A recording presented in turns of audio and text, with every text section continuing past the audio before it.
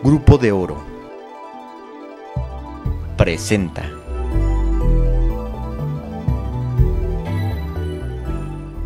En apoyo a las normales de Tiripetío, Cherán y Arteaga, integrantes de las normales que se encuentran en Morelia mantienen un plantón frente a Palacio de Gobierno, a medida de protesta por la posible incursión de fuerzas policiales a las tres escuelas mencionadas anteriormente. Son más de 200 estudiantes e integrantes de otras organizaciones los que mantienen tomada la principal arteria de la capital del estado. Los inconformes han atravesado un autobús y han colocado algunas pancartas en los balcones del citado edificio. Con imágenes de Víctor Saldaña, Agencia Cuadratín.